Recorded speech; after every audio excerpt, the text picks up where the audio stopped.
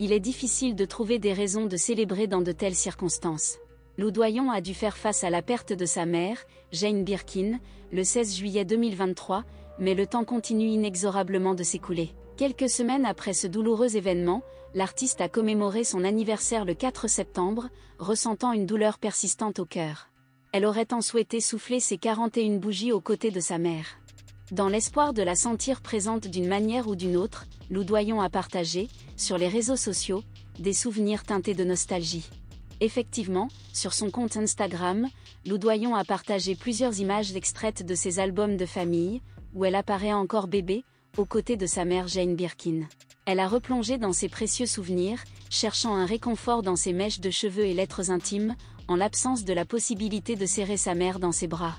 Dans sa publication, elle a écrit Anniversaire. Moi et mon livre de bébé. Merci maman d'avoir été là. Merci à toi papa.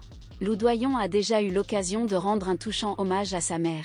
Après sa sœur Charlotte Gainsbourg, elle a courageusement pris la parole lors des obsèques qui se sont déroulées en l'église Saint-Roch, située dans le premier arrondissement de Paris, le lundi 24 juillet 2023.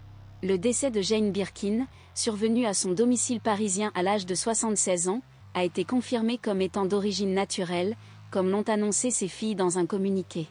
Elles ont déclaré, depuis quelques jours, elle avait repris la marche, manifesté l'envie de programmer son Olympia à nouveau, et avait décidé de reprendre son indépendance. Ce premier soir de solitude s'est avéré être également le dernier, ont affirmé Charlotte et Lou. En prenant son ultime départ, Jane Birkin a rejoint sa fille Kate Barry, mais elle a laissé derrière elle un grand nombre de proches, parmi lesquels son tout jeune petit-fils. Fruit de l'amour entre Lou Doyon et l'illustrateur Stéphane Manel. Récemment, la fille de Jacques Doyon a exprimé sa gratitude envers sa mère en déclarant « Maman, merci pour toutes ces aventures, merci de ne pas avoir été ordinaire, raisonnable et docile.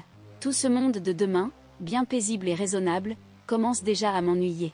Et il y a ton petit Laszlo qui a un an aujourd'hui.